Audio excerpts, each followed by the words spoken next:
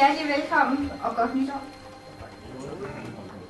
Det er jo en tradition, vi er en del af, som Jens også fik sagt. Nytårskuren her i Roskilde har vi haft gennem mange år.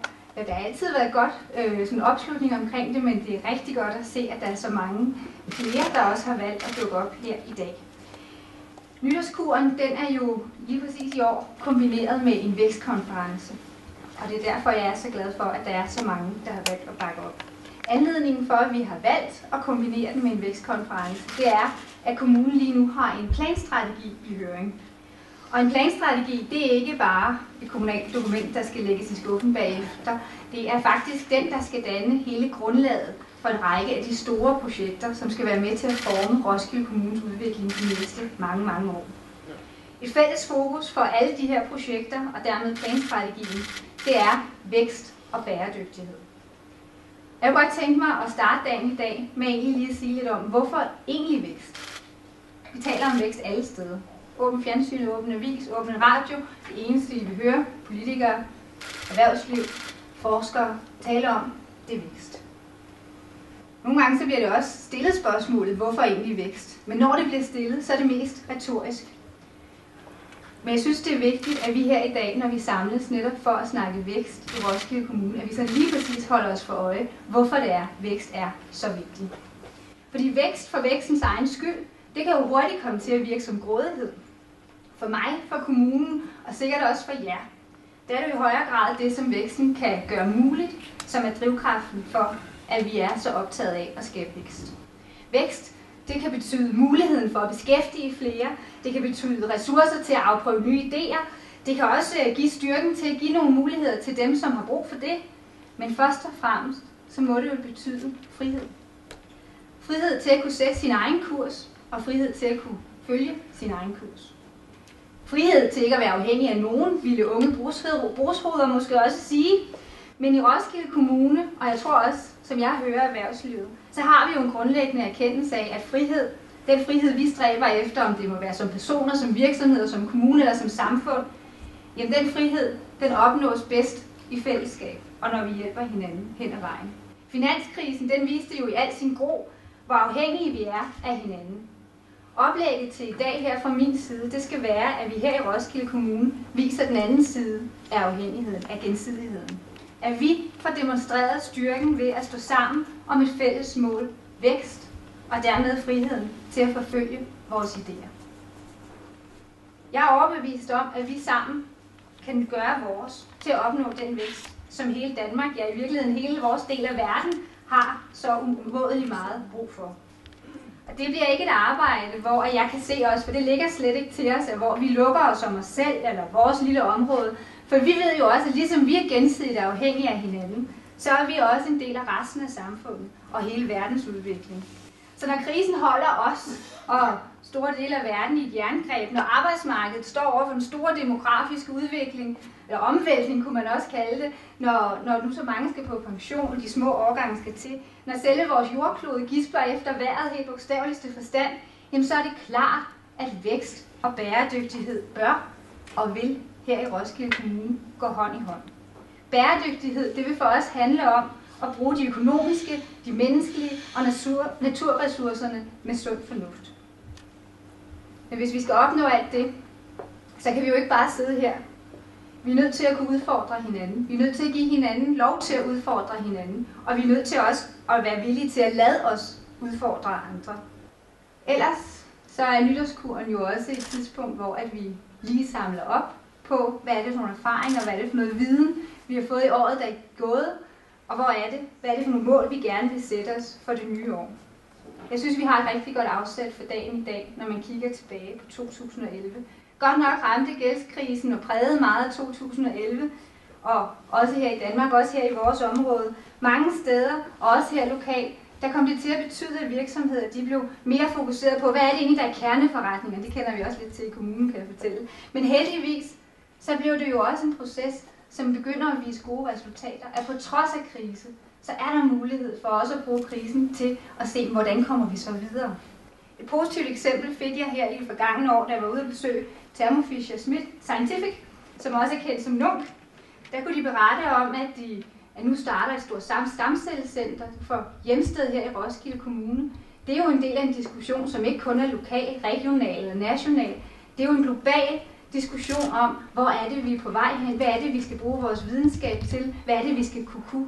Og tænk sig, det er faktisk her i Roskilde, at vi har den viden til at kunne tiltrække globale, globale aktører, der er en del af så fundamental en diskussion og udvikling for hele vores samfund. Det synes jeg er rigtig, rigtig stærkt, og filosofien er vel i kommunen, såvel som i Roskilde Kommunes erhvervsliv, at selvom økonomien selvfølgelig vil sætte nogle rammer, sætte nogle grænser for, hvad det er, vi kan, så må økonomisk smalhals aldrig nogensinde blive undskyldning for, at vi ikke hele tiden søger at finde den bedst mulige løsning, den mest bæredygtige løsning, den mest fremtidssikrede løsning.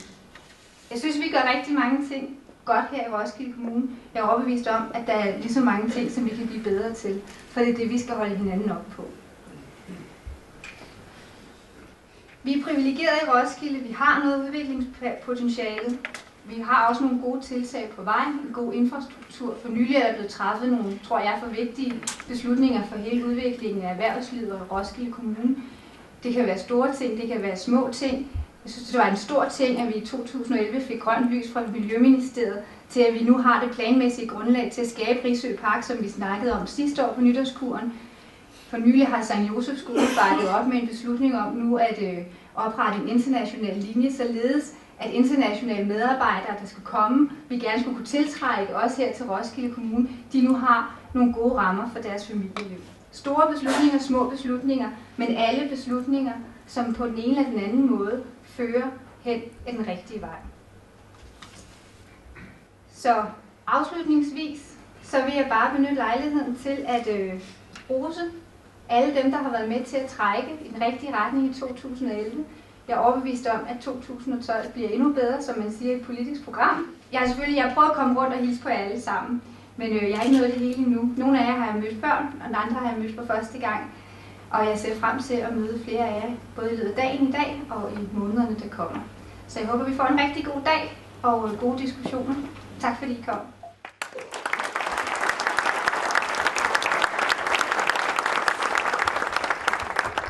Jeg har og vil til stadighed efterlyse fremsynede, forandringsvillige, modige politikere, øh, der sætter udvikling, vækst og de nødvendige beslutninger højere end partipolitik og personlig profilering. Landspolitisk har det i de senere år knæbet lidt med den disciplin, og det kniber stadig sine steder, men lokalt har vi fået et lederskifte, hvor, hvor dynamik, de rigtige, de nødvendige løsninger og handling er i højsædet. Jeg er overbevist om, at borgmesterens proaktive og pragmatiske tilgang til Roskildes vel, ikke mindst øh, til erhvervslivets vel, vi smitter af på vores øvrige lokalpolitikere. Bæredygtig vækst. Vækst, det siger jo næsten sig selv, det er let afkodeligt. Øh, det betyder, at noget vokser. Bæredygtighed har derimod, øh, er derimod et begreb, der har antaget nye betydninger de seneste årtier. De lærtes version hedder i dag, at bæredygtighed er det, som skaffer menneskene og miljøet de, øh, de bedste, øh, skaffer miljøet det bedste, uden at skade de fremtidige generationers mulighed for at dække deres behov. Yep. Hvis man er som mig, øh, mere til de oprindelige betydninger af diverse begreber, betyder bæredygtighed i al sin rørende enkelhed træ, som er moden nok til at bære frugt. Bæredygtig vækst, noget, der vokser sig modent nok til at bære frugt. I Erhvervsforum Roskilde er vi meget optaget af vækstmulighederne for kommunens mere end 3.000 aktive virksomheder, og ikke mindst de godt 450 af dem, der er medlemmer hos os. Vi er optaget af, at disse virksomheder bliver kultiveret og gødsket, øh, så de kan bære frugt og vedblive at bære frugt. At den enkelte virksomheds udbytte vokser år for år, så den frugt kan fordeles blandt endnu flere hænder. Bæredygtigheden skal findes i at understøtte hele spektret af erhvervsvirksomheder i Roskilde. Det landskab, vi har i Roskilde, er kendetegnet ved, at 85% af virksomhederne har fem ansatte eller mindre. Kan vi igennem proaktiv og innovativ gødsning medvirke til, at måske 15-20% af disse virksomheder inden for de næste år til halvanden ansætter hver bare en medarbejder yderligere, så har vi sikret mere end 500 nye arbejdspladser. Det er bæredygtighed. Naturligvis skal vi understøtte de større virksomheders vilkår. I kommunen har vi ca. 100 virksomheder med mere end 50 ansatte. Mange af disse kendetegnes ved, at deres lokale forandring ikke helt holder samme niveau som de mindre virksomheder. De større virksomheder er meget selvkørende, typisk er ledelsen for disse større virksomheder ikke bosiddende i kommunen, hvorfor deres fokus på udvikling selvsagt begrænser sig snævert til deres egen virksomhed. Ikke desto mindre kan, øh, kan vi som de små virksomheder lære utrolig meget af disse større virksomheders tilgang til vækst, og jeg er overbevist om, at de mangfoldige kompetencer i denne store underskov af små virksomheder også vil kunne befrugte de store virksomheders bestræbelser på at udvikle deres egen evne til at bære frugt. I den forbindelse vil jeg gerne kvittere for borgmesterens tiltag til Erhvervsudviklingsrådet, hvis formål det er at skabe bedre dialog mellem kommunens større virksomheder, underskovende mindre virksomheder og kommunen selv. Godt nok blev initiativet til vej, eller, øh, tilvejebragt til vejbragt med udgangspunkt i en tilfredshedsundersøgelse blandt øh, Dansk Industris godt 100 medlemmer i kommunen. En undersøgelse, hvor Roskilde befandt sig i den tunge ende øh, sammenlignet med øvrige kommuner i landet. Om undersøgelsen er repræsentativ for det samlede, øh, er repræsentativ for det samlede erhvervsliv, kan i høj grad diskuteres, hvilket jeg dog vil undlade at gøre her. Øh, men jeg ser frem til dialogen, at dialogen med vores store virksomheder, dialogen mellem alle vores virksomheder intensiveres, så vores indbyrdes, indbyrdes forståelse kan blive højere, at vi kan tilføre hinanden vækstfremmer af den bæredygtige slags. For at sikre fremtidig vækst, skal vi arbejde sammen på tværs af brancher, interesser og kompetencer.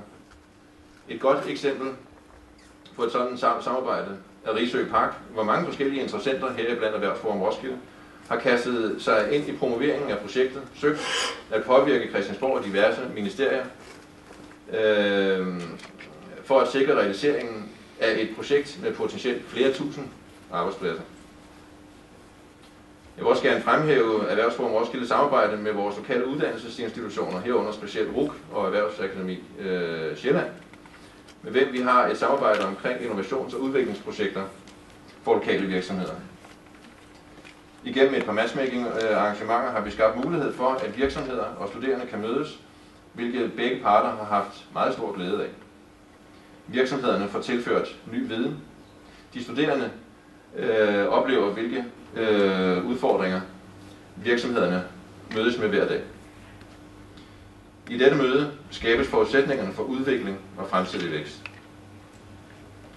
Erhvervsforum Roskilde deltager i, en, i den arbejdsgruppe, hvor vi blandt andet evaluerer, evaluerer disse aktiviteter og bidrager med at få gjort ord til handling. En meget central vækstfremmer specielt til gødsningen af de små og mellemstore virksomheder, er den kommunalt sponserede erhvervsservice. Den erhvervsservice blev på 1. januar 2010 lagt sammen med turistservicen i udviklingshuset, nu mere kendt som, business, øh, som Sealand Business Connection. Efter to år, øh, her efter to år er vi stadig nogen, der kæmper lidt med at øh, finde ud af, hvad sammenlægningen, sammenlægningen egentlig har tilført øh, vores erhvervsliv. Den forventede dynamik har været svær for øje på. Men fra Udviklingsforums, øh, fra Erhvervsforums side vil jeg gerne understrege, at vi stadigvæk mener, at denne sammenlægning var rigtig. Vi har igennem de seneste to år forsøgt, øh, eller søgt at påvirke organisationen til gavn for alle øh, kommunens øh, virksomheder, og ikke mindst for organisationen selv. I løbet af de seneste par måneder er der blevet taget tiltag til, er der gjort tiltag til at opkvalificere CFBC's øh, organisation til gavn for både turisme og erhvervsservice. Det er mit håb, det er min forventning, at når denne opkvalificering inden for de kommende måneder er på plads, vil vi se, at Silent Business Connection øh, vil bevise sin berettigelse og indfri vores forventninger og blive den dynamiske vækstfremmer, som vi har brug for. Vækst har vi også haft i Erhvervsforum Roskilde. I løbet af Øh, de seneste år har vi haft en medlemstilgang på godt 25 procent til nu mere end 450 medlemmer. Et af de helt centrale parametre, vores medlemmer har købt ind på, er netværk. I 2011 havde vi ca. 30 netværksmøder øh, af forskellige størrelser og indhold. I 2012 har vi planlagt mere end 40 netværksarrangementer. Muligheder for at mødes med andre virksomheder, erfaringsudveksle, danne nye relationer og uddanne hinanden til ambassadører for hver andre. Jeg var her den, 19. januar ved ca. 150 medlemmer, og medlemmer i B kunne opleve Mads Blægerøv Christensen fortælle om sin tilgang til personlig branding.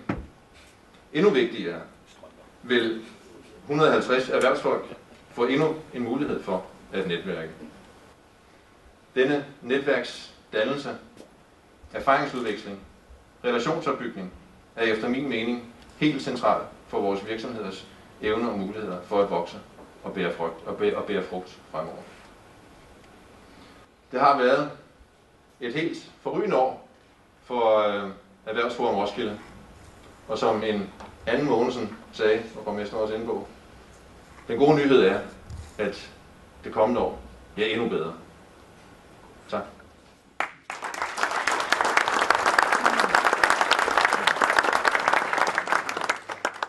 Vækst og udvikling. Hvordan kan vi fremme det ved planlægning? Og øh, som øh, borgmesteren startede med at sige, så er det sådan set helt grundlaget for, for planstrategien, så taler om planstrategien, og det kunne vi godt holde et, et langt oplæg om. De fås i mange aftapninger, sådan nogle øh, planstrategier. Her i, øh, i Roskilde, der har vi så sat den her vækstdagsorden. Bæredygtig vækst, det er det, vi vil nå. Øh, og øh, når, når, når man sætter sådan en målsætning op, så er det jo helt entydigt, at det kan vi ikke gøre bare ved initiativer fra kommunen øh, alene. Det kræver godt samarbejde med centrale aktører. Så det emmer øh, produktet af, og det skulle forhåbentlig dagen her i dag også emme af, at vi får en dialog om, hvordan fremmer vi så de her initiativer, som kan give vækst og udvikling i øh, Roskilde. Samtidig øh, med at det er et oplæg til, til samarbejde, så er det i høj grad også en udmelding fra byrådet om, at man vil påtage sig en rolle i den her med vækst. Og øh, hvis vi kigger ud over kongeriget og ser på andre kommuner, så er det langt fra givet, at det er positionen. Der er mange, der i en krisetid som nu vælger at øh, sige, at øh, vi må fokusere på vores kerneydelser, vores øh, store serviceområde. Vi skal sørge for, at der er nogle gode børneinstitutioner, nogle skoler og noget ældrepleje, og det er så det, øh, fordi det er det, vi har råd til nu. Og det er bestemt ikke sådan, at, at Roskilde ikke satser på at gøre det godt på de områder, men, men med, med de meldinger, der ligger fra byrådet, så har man i høj grad sagt, at vi skal også fokusere på, på øh, hele vores geografiske områdes ved og vel. Og udgangspunktet, det er selvfølgelig, at vi har udfordringer. Store udfordringer. Der er to øh, store kriser, der gælder for os her i Roskilde, men som også gælder globalt. Det er den økonomiske krise og ressourcekrisen. Og det var det udgangspunkt, Joy tog i sit, sit første indlæg. Det er her, vi har nogle, nogle opgaver. Det er det, byrådet også peger på. Vi har selvfølgelig en særlig lokal øh, hvad skal vi sige, øh, dagsorden inden for hver af dem. Vi har nogle udfordringer økonomisk, vi har nogle særlige ressourceudfordringer i Roskilde, men hvis vi sammenligner med så mange andre, så er det sådan set ikke fordi, vi står dårligere. Den krise her, den er global, øh, og selvom vi måske har et lille forspring over for rigtig mange andre kommuner, så kan man, kunne man også tage den, den position og sige, vi skal ikke tage det som en, en øh, sovepude, at, vi, at vi, det sådan set går rimeligt i Roskilde sammenlignet med så mange andre, men vi skal derimod bruge det som en offensiv øh, dagsorden til, hvordan er det, vi bringer os ud af krisen. Øh, virksomheder, der går ind i, i en krisedagsorden og finder svaret, det er dem, der, der vinder og lader nogle andre stå tilbage. Og, og det er en fuldstændig parallelt med, med kommuner, og det er den dagsorden, vi prøver at sætte her. Hvordan bruger vi øh, de her udfordringer offensivt?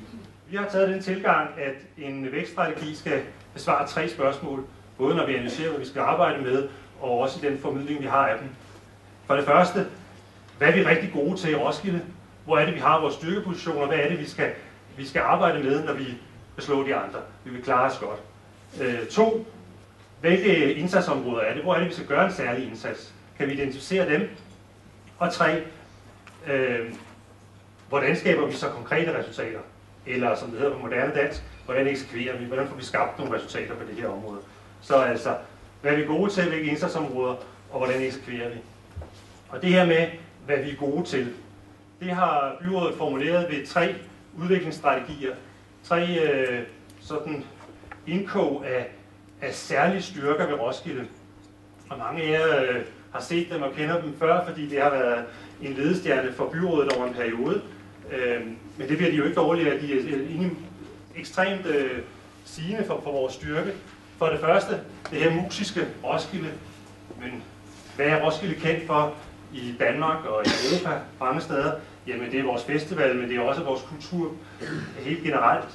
Den særlige styrke bliver der arbejdet med som en udviklingsstrategi. Så har vi en, en unik situation, at vi har to store, stærke universiteter, Risø, DTU øhm, øh, og, og RUK. Vi har ovenikøbet flere universiteter, der også er placeret her med, med mindre afdelinger. Vi har øh, nu på de mellemlange uddannelser samlet, også i Tre Kroner, med, med øh, Campus Roskilde. Vi har tre meget store erhvervsskoler, vi har tre, øh, tre øh, gymnasier, så en, en klar styrkepositioner i, i, øh, i en økonomi som vores, så er det jo et, der skal udnyttes. Så uddannelse og forskning som en, en styrke for Roskilde, og som skal præge de der valg, vi så tager.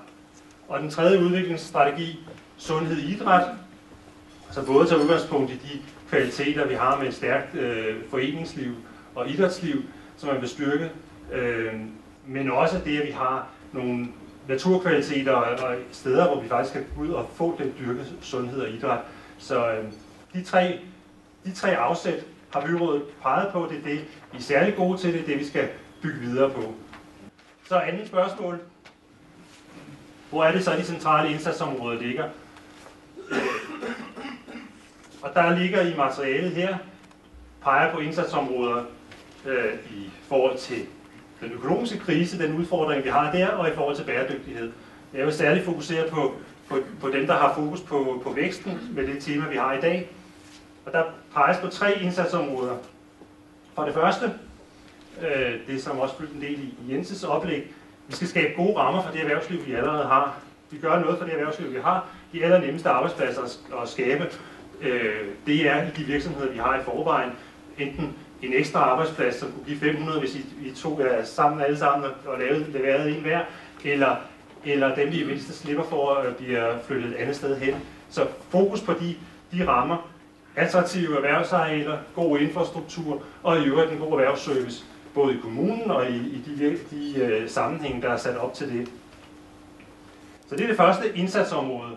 Gør noget for det erhvervsliv, vi har i forvejen. Det andet, skabe gode rammer, eller skabe rammer for det gode liv, det tager udgangspunkt i den, den tænkning, at at kunne tiltrække stærk arbejdskraft, det er en helt afgørende forudsætning for at kunne drive en, øh, god virksomhed. Så de initiativer, som måske ikke direkte ser erhvervsrettet ud, kan i høj grad også have et erhvervskarakter, have en vækstfremmende karakter, kan vi skabe nogle attraktive boliger, et varieret kulturliv, skøn rekreation i Roskilde, vi har nogle, nogle ting at byde, byde på, det er også med til at fremme en øh, region med vækst. Og så det tredje indsatsområde, det er at fremme de nye erhverv. De erhverv, hvor vi tror på, der, der fremadrettet kan ske noget. Hvordan kan vi stimulere dem? Og øh, dem, der er peget på her, det er også dem, der fremgår af erhvervsstrategien, som er lavet i fællesskab mellem kommune og, og erhvervsliv her, hvor, hvor udgangspunktet er en kombination af, hvor sker der noget øh, nationalt og internationalt, hvor er der faktisk vækst, men på den ene side, og på den anden side, hvad er vi gode til i Roskilde? Og det kan godt være, at det er lidt småt at se der længere nede, men øh, de, øh, de fem, der er peget, peget ud her, det er, er cleantech, øh, det er forskning og uddannelse generelt, der er simpelthen ud over, at, at forskning og uddannelse præger erhvervslivet i øvrigt, så er der rigtig mange arbejdspladser, øh, at vi har forsknings- og uddannelsesinstitutioner i Roskilde. Så er der handel. Øh, Roskilde er det største øh, detailhandelscenter på, på Sjælland, øh, uden for det centrale København. Øh, en klar øh, styrke, der kan arbejdes med. Et, øh, en initiativ omkring øh, fødevareerhverv, som er mere noget på vej, hvor der er nogle muligheder med de institutioner, vi har. Oplevelser af kreative erhverv og, øh, og endelig turisme. Så, så det er de tre indsatsområder fokuseret lidt. I materialet går vi mere ned på projekter, og jeg skal prøve til sidst her at, at slå ned og sige, hvordan bliver det her så til konkrete, øh, konkret handling. Det var indsatsområderne i forhold til, til øh, håndtering af den økonomiske krise, så er, der, så er der ressourcekrisen. Og der er på tilsvarende måde arbejdet med konkrete indsatsområder. Øh, nu fokuserer vi på, øh, på vækst i dag, øh, og, og derfor det, det, det, jeg vil fokusere på her omkring, omkring bæredygtighed, det er, at også her ligger der vækstmuligheder. Vi har på nogle af de stærkeste forsknings- og uddannelsesinstitutioner på området, som faktisk arbejder med at håndtere øh, ressourcekrise. Vi har Rigsø helt oplagt, og vi vil se øh, konkrete eksempler på, hvordan der kan arbejdes med det. RUG er også stærkt placeret her, så vi altså har nogle vidensinstitutioner, øh, som er med til at svare på nogle af de største udfordringer i øh, både det danske og globale sammenhæng. Det er en mulighed, der skal udnyttes.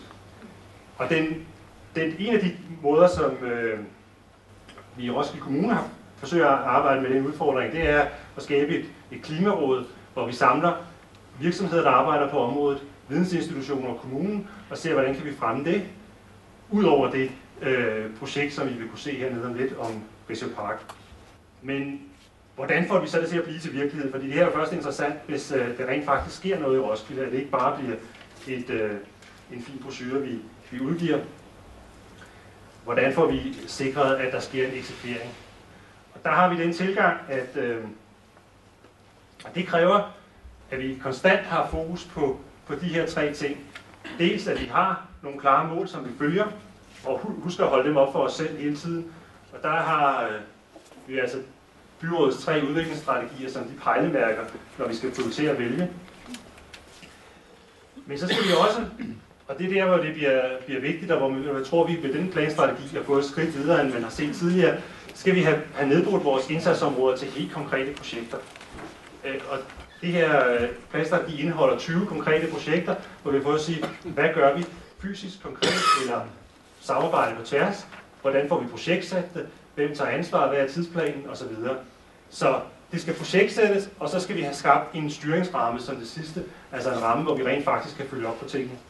Og så ligger der så her sidst i, øh, i materialet opstillet 20 konkrete projekter, der bliver arbejdet med i Roskilde.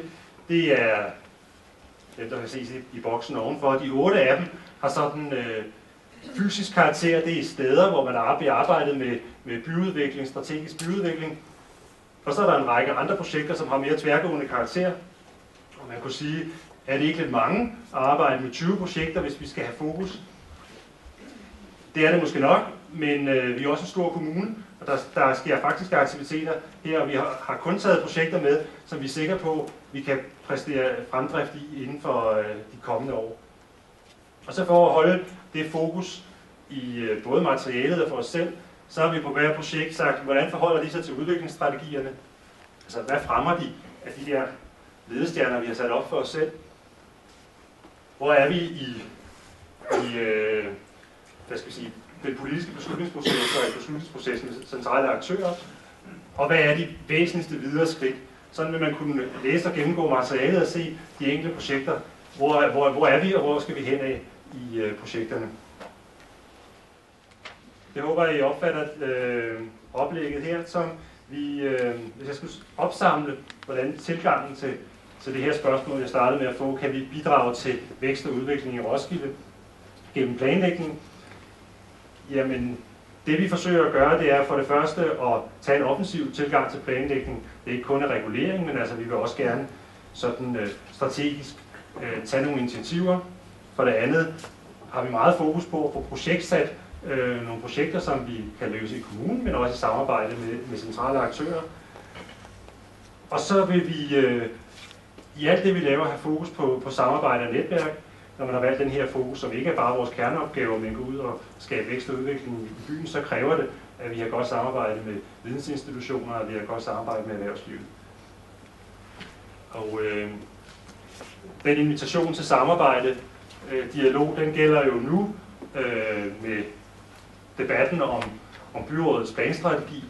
Vi håber, I vil orientere jer i den, både deltage i debatten nu her, men også efterfølgende komme med kommentarer og bemærkninger. Den gælder i mindst lige så høj grad i det projektkatalog, der er bagved, og vi har gode samarbejder op at køre på en, på en række af delprojekterne. Øh, men det er også en invitation. Har man noget at byde på, gå med i, i nogle af projekterne. Og så er det selvfølgelig samarbejde i hverdagen med, med løbende dialog. Det var det.